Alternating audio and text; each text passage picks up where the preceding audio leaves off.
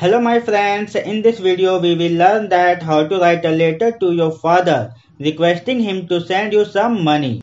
And friends, after watching this video, if this video is helpful for you, please don't forget to like this video. So now, let's get started. Write a letter to your father for money. at 01 Palam Colony, Delhi, double one double zero double seven.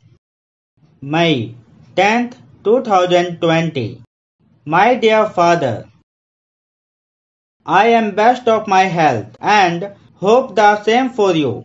I wanted to inform you that our college tuition fee had increased due to additional charges of sports and security and I have also to pay 1000 rupees for the examination fee. I wanted around 5000 rupees instantly. Please transfer money to my SBI account as soon as possible by May 31st. I am eagerly waiting.